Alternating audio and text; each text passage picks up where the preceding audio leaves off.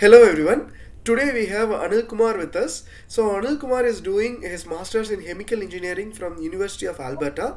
So uh, we will learn a lot about his uh, journey and the kind of curriculum and the st- course structure from the University of Alberta. Hello Anil Kumar. Hello, hi. Thank you for having me. Great.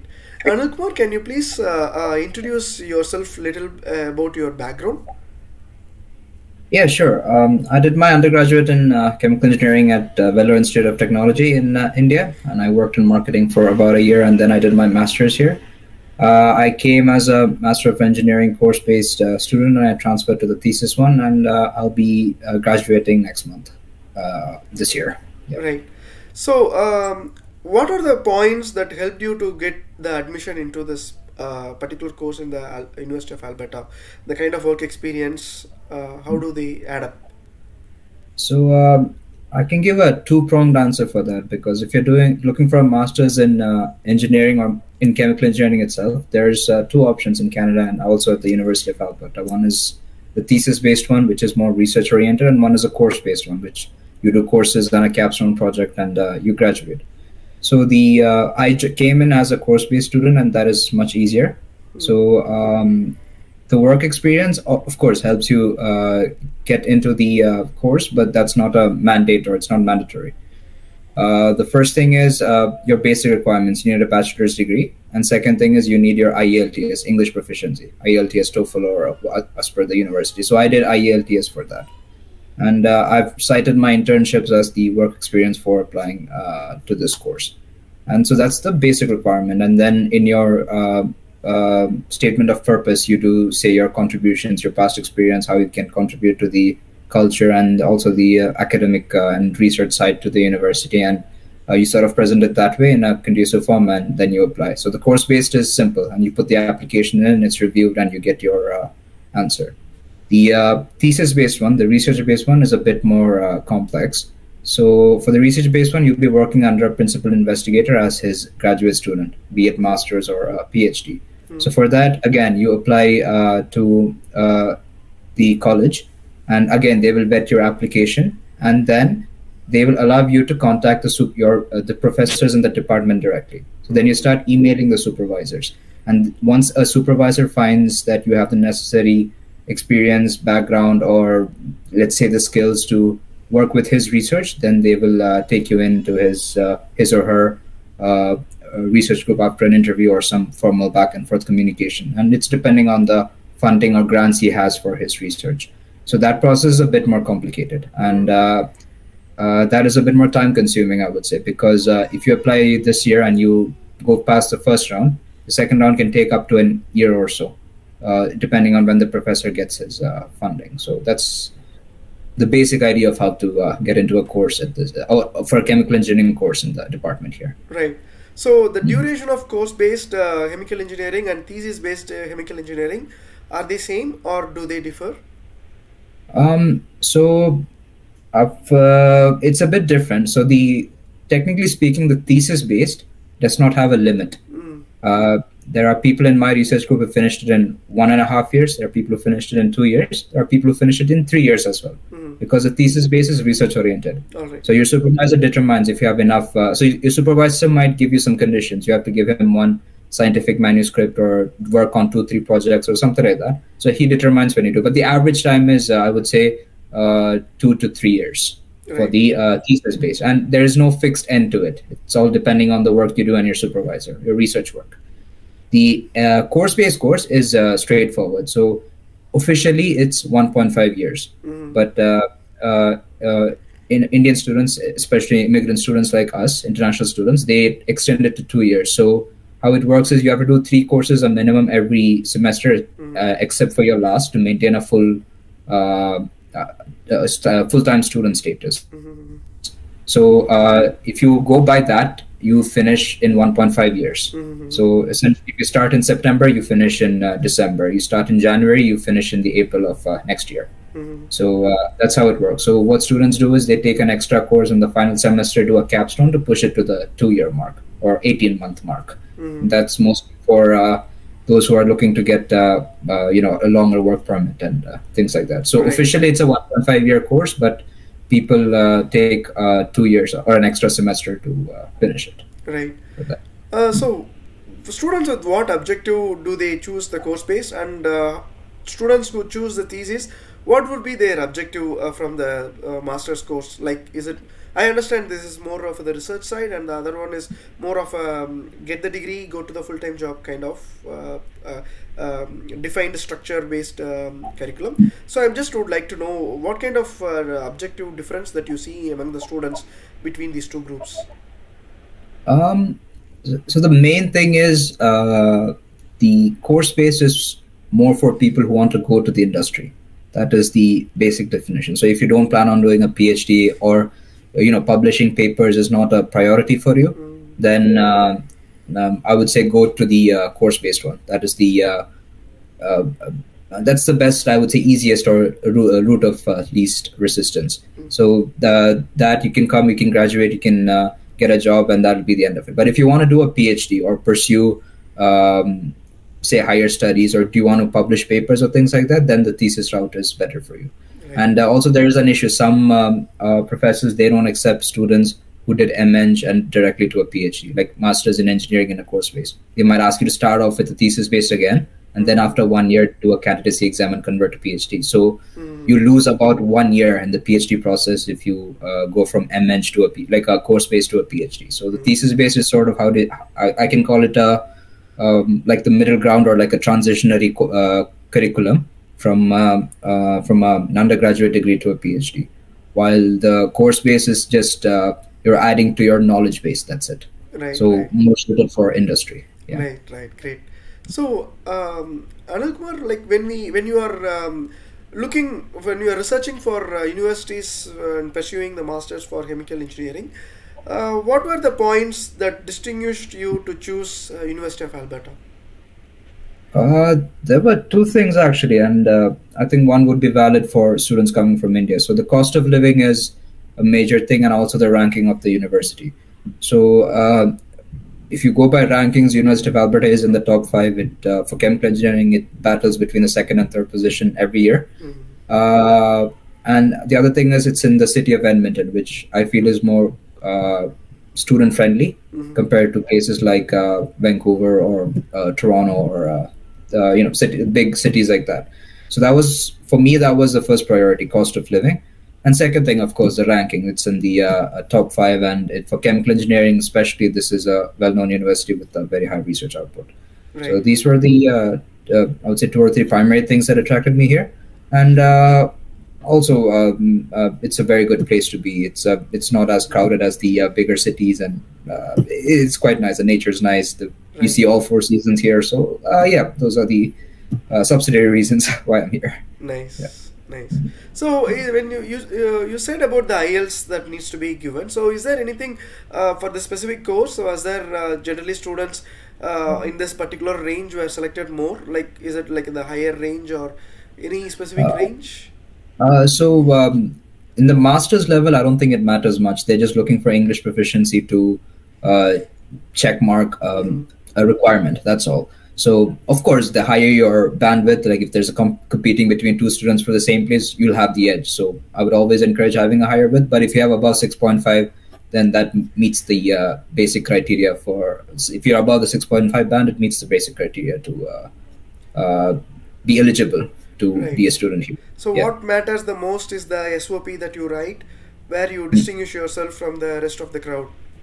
Yeah, yeah. And in the SOP, uh, one more thing is uh, this is, um, of course, you uh, say your background and also how you can contribute to the culture of the university and everything. Hmm. It's the distinguishing part.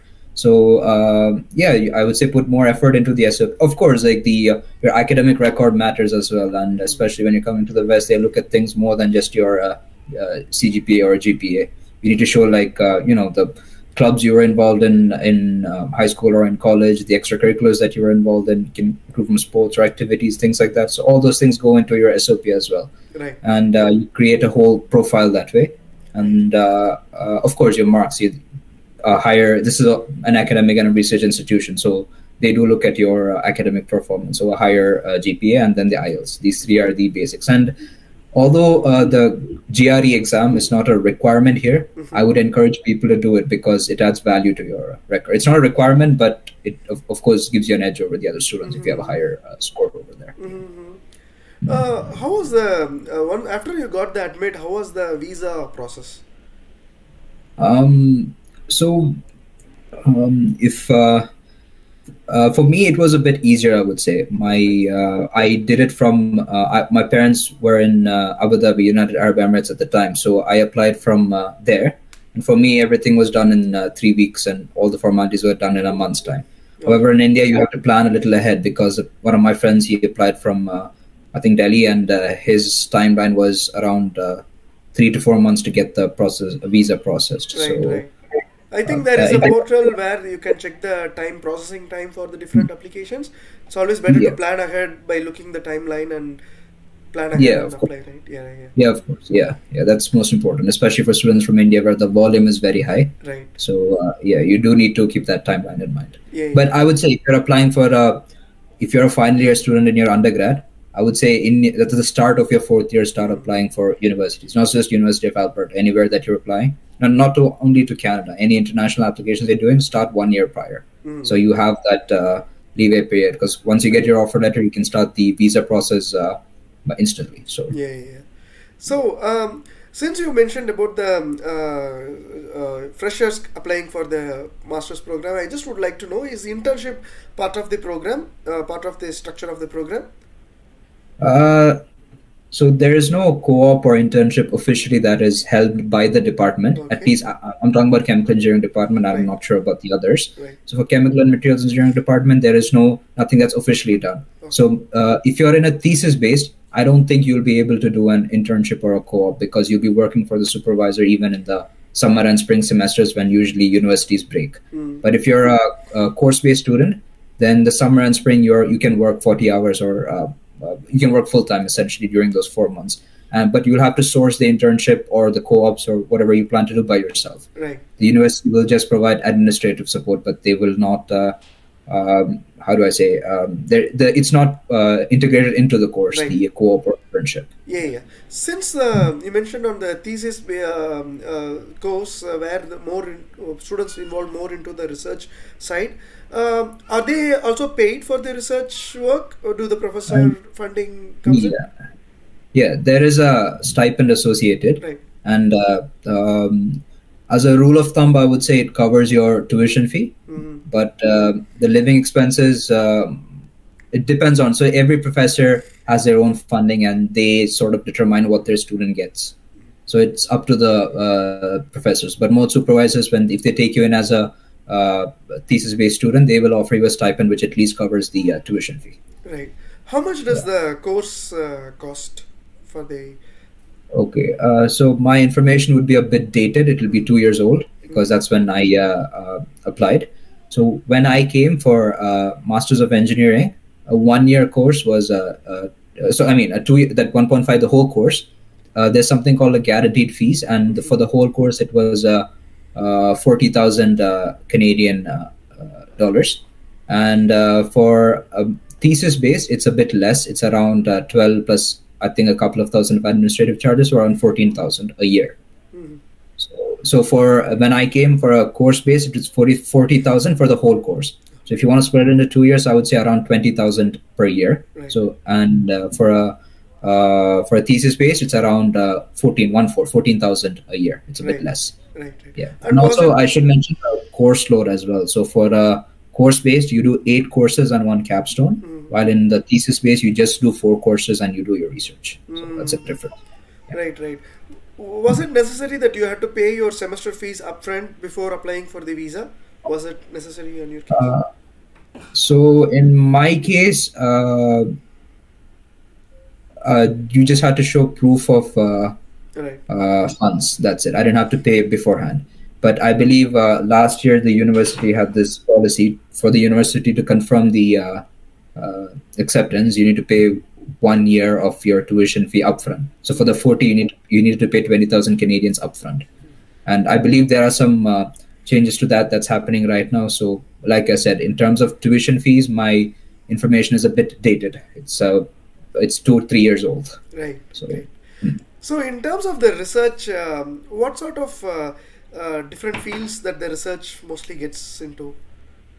Uh, so it's a wide uh, it's a wide spectrum. So from in my department, chemicals and materials engineering, we go from uh, a practical experiment based from uh, oil sands, bitumen, uh, energy, any fields, Uh-huh. uh, to like process optimizations and you know simulation work and uh, things like that. So it covers a very broad spectrum and it's mostly interdisciplinary.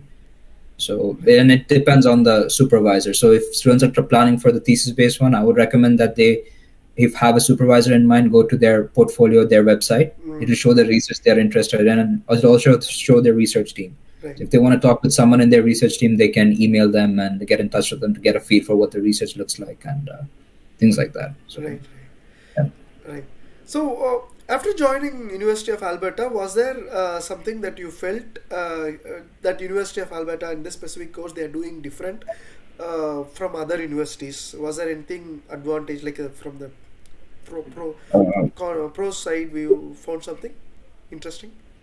Uh, I would say its location is one critical thing. So it's in Alberta, which is the uh, oil and gas, uh, or like the energy hub of, uh, at least the fossil fuel energy hub of Canada. Right. So because of that, a lot of industrial representatives from those niches and fields uh, frequent the university, like for during the seminars or guest lectures, as well as conferences and things like that. So that networking opportunity would be the, I would say, the big plus of uh, this university, University of Alberta Right. and the focus on energy if you want to do energy related research i would say or you want to go into the energy field in the industrial side as well i would again recommend uh, U of A for that Right.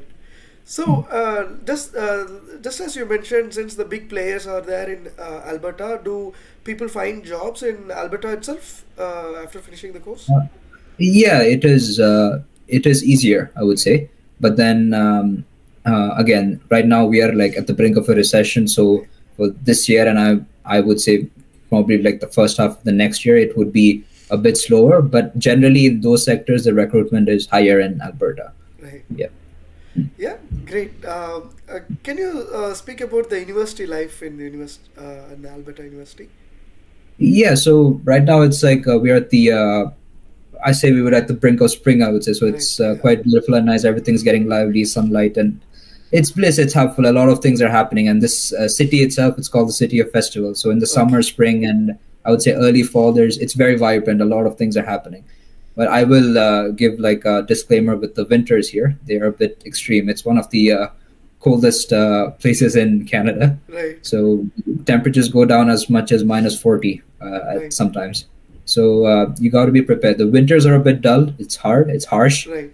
As well, and especially for people like us who come from like a tropical area. Right. So that I would say that is the major drawback of this region, the Right. winters. But uh, the summer, spring is lively. The student life, uh, there's a lot of buzz going on, and uh, it's it was very positive. I have nothing uh, negative to say about uh, Right. that here. And also, uh, this university is uh, very close to downtown as well as uh, uh, to the I would say the the entertainment region here, Uh-huh. where they have all these uh, restaurants, clubs, pubs, nightlife, where you know all the bustling shopping districts and everything. So the location is also uh, quite good for the university. It's not remote. Right. So yeah, it's, it's a big uh, it's a big plus in that sense, like a social sense, to come Right. to university. Yeah, yeah. I know that you mentioned about the cost of living being not as high as big cities like Vancouver or Toronto, but Hmm. what can a student, an immigrant student, can expect his expense to be from the cost of living side? Okay, so recently everything has increased. So currently, I would say for rent, will, uh, you might have to designate around. Uh, of course, it depends if you're sharing with people or you know if your uh, expectations are low, then you can find something to that end. So for rent, I would say allocate around 500 to 700 if you don't mind sharing. But if you want to live alone, like in a studio or something, it'll be thousand plus, uh, easily around the thousand, thousand two hundred mark. So I would say for that, and for groceries, I would say uh, again it's depending on you, but a good average would be 200 to 400. So if you go at the extremes, I would say you might need at least 1000 to 1200 a month to like cover all your expenses. But of course, you can you know budget and uh, uh, bring it down uh, further. But I would say that's a very good average, reasonable average to expect around 1200 uh, monthly expenses. Right. Yeah. So, uh, do students um, uh, also do part-time jobs uh, Hmm. taking the course? And- yeah. and- So, right, right. Uh, continue. Yeah, good. Yeah, yeah. And do they find uh, enough jobs within the campus or on campus, or is it only off campus? So uh, on-campus jobs, uh, there are availability, but uh, you know, naturally, there's a lot of competition there. Mhm. So it might be a bit harder to find uh, campus jobs, or it, it is available, but it'll be a, a bit hard. Uh, off-campus jobs are available, especially in uh, summer, spring, and uh, uh, I would say even fall. But when once winter hits, uh, of course, like even they don't need as many employees as business dips. So during the winter, it will be hard to find part-time jobs. But during summer and spring, especially with all the festivals coming in, they always need bodies to do work. So at that time, there's there's it's I won't say it's easy, but there is availability. Right. But during the winters, you got to be prepared to you know be laid off or uh, Right. get your uh, working hours uh, shortened or something. Right, yeah. right. I know that for thesis you told that the, mostly the um, uh, stipend will cover the fees, but uh, from the course-based side, um, forty thousand dollars being a, a good amount. Uh, usually, students how do they manage uh, such a fees? Um, so uh, most of them work part time during the uh, so for course base you get summer and spring off. So I would say I think uh, from May to August, May, June, July, August. Yeah, these four months are off. Mhm. So apart from these four months in the big semesters, they work part time, and in these four months they work full time. Right. And uh, some people with some uh, engineering experience, they get internships in places like Fort McMurray, which is like an industrial zone here Mhm. and that uh, they pay uh, really well for the internship. So uh, you, co- I won't say you'll be able to cover your tuition expenses, but you might be able to lessen the impact uh, quite uh, drastically that way. Right, right. Great, great. Um, is there anything specific you would like to um, uh, say to the viewers, um, Anil Kumar? Uh, nothing specific per se, but I would say if you any university that you're choosing, uh, do your research about the Right. area, like the city, its situations, and other aspects like we discussed, the cost of living and things like that, because uh, the university. So I should have mentioned that at the start. The reason I use chose University of Alberta is like it's at the sweet spot between uh, you know expenses as well as ranking for the university. So you need to optimize your parameters that way. So you might get into the uh, University of British Columbia, University of Toronto, which is a much more highly ranked university, and if that's your priority, of course, go for that. But if you want to optimize all the other little things such as living cost and uh, things like that, do your research on the city, uh, its lifestyle, and uh, things like that, not just the university. So that's one thing. That's I would say a mistake uh, I would have made uh, if I had gotten into the UBC, uh, UB, University of British Columbia. But luckily, I got rejected, so I ended up in a, a good spot. Right, right. So I know that you did your bachelor's in chemical engineering and then you're pursuing a master's in the same field. Uh, but generally, in the cohort, uh, um, in the course based, or are all the students of the same similar background, or are there diversity? Uh, no, not at all. So uh, I so I should clarify. Although my degree is in chemical engineering, my research specialization was in uh, uh, batteries or like electrochemistry. So it's an on materials engineering. It's like an interdisciplinary uh, the concept. So if you go into research, the degree doesn't matter because the, some of my peers. So my research group was a combination of electrical and mechanical engineers in terms of their degree, but their undergrad backgrounds were from uh, electrical engineering, petroleum engineering. Hmm. Um, some chemical engineers were there as well. So it's a mix and match. So it depends on what you want. So if it's a course based one, I would say your choices are limited. Um, you might end up pursuing uh, a similar field of engineering study as your uh, undergrad. Uh, although, of course, they are not as uh, strict, I would say. But if you're in a uh, uh, thesis based one, so this was for course based. So if you're in a course based, you did your undergrad in, say, chemical, the options here are either chemical materials or maybe like environmental engineering or petroleum engineering, and these are in the civil department. Uh, however, um, if you are here for a thesis based course, uh, it depends on what your professor's research is or something like that. So for a thesis based, I would say you're choosing your professor, not the degree. Mhm. Right. That's another difference because uh, Mhm. there are. Uh, uh, I have a friend who's a chemical engineer and he's in the uh, electrical department Mhm. because there's a part of chemical engineering called uh, process systems, alarm systems, and things like that. And there's not substantial research in the chemical done. So he's working in the electrical department for that. So that's one distinction I would say. So course based, you might end up in a similar one as your undergrad. Thesis based, it depends on your uh, professor, whichever department he's in, like your supervisor, like your field of interest. And uh, you choose a supervisor that, and whichever department he is in, that will be your uh, degree. Right. So one distinction, yeah. Right, right, right. So I understand that in thesis, since you do a lot of research, uh, the finding the um, uh, job after completing the course, um, maybe that your your the research will be mu- very much valued in the uh, hiring process, probably. Uh, unfortunately, no, because as I mentioned, uh, the and a thesis based or like a master. So the course base is called Master of Engineering, and the thesis base is called Master of Science. So the Master of um, uh, so usually industries themselves they don't dis- differentiate that much right. between uh, a Master of Engineering and Master of Science, and I would go as far as to say they're not even aware of the differences at, at times. So uh, there's not a big gap, I would say, but say like your research is in an industry where the industry works. So for example, you work in like uh, on coal and you're going to work applying for a coal company or like a coal mining company. Of course, you'll have the uh, edge over the others. Uh, but if you're looking for a research position, say a research assistant or research associate or something, then of course you have the edge. But I will not definitely say that uh, you have a much get a priority if you do a, a master of science. Right, right. So if your research like coincides with the industry, Mm. then you might have the extra edge. But if not, then you are in the same boat as the uh, uh, master of engineer and master of science. Right, right. So those who come graduate, uh, how do they break the ice in getting their first job? Uh, again, this is a so I'm in the process myself, Right. and uh, one big word is uh, networking because Right. here it's it's not about what you know, it's about who you know.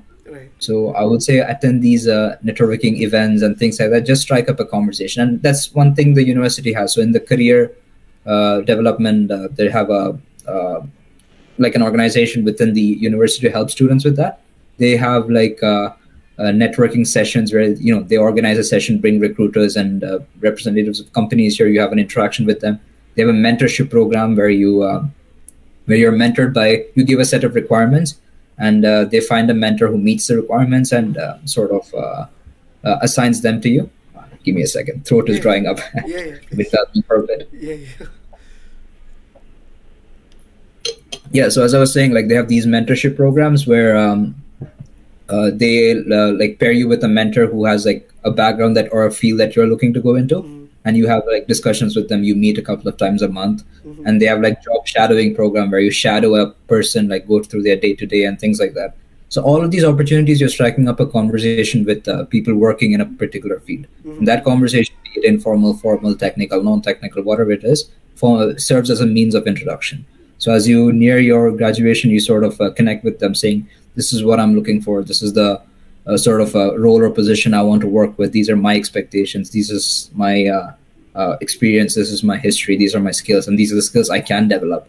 And you sort of, uh, how do you say, uh, build up that interaction, and uh, you know they connect. If they don't have a position in their uh, organization, they'll connect you to someone who is looking for it, or uh, direct you in a uh, for a viable solution that fits all these parameters. So yeah, networking that's the key thing here to land a job. Yeah, yeah. In terms of the weather, is there any advice that you would like to give for students coming from tropical country for the terms of preparation? They need to. Yeah, yeah, definitely. So, um, so first thing, yeah, be prepared for the winter. It's not anything you have experienced before, and it's very harsh. I mean, I don't know if it's visible. My hands are all cut up because of the dry weather. So uh, you'll need to use moisturizer, things like that, and also you need to cover up and you know layer up when you go out. That's that'll take some practice to do.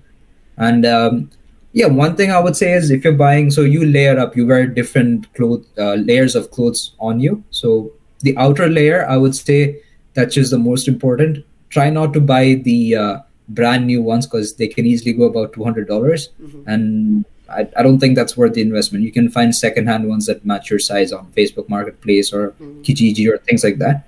Also, buy during off season, so they will have. Um, uh, so like, don't buy the clothes at the uh, you know the height of winter. Everything will be priced high. So there will be a clearance sale going on as the seasons change for the previous year or something like that. Yeah. So that's when you can get the most bang for your buck. So look out for that, and also student discounts.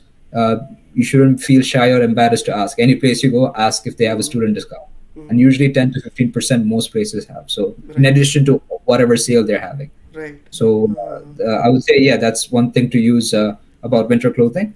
Um, and yeah, you have to always dress in layers rather than having a very thick high coat Mm. because as uh, their clothes temperature resistant increases, so does the cost of it.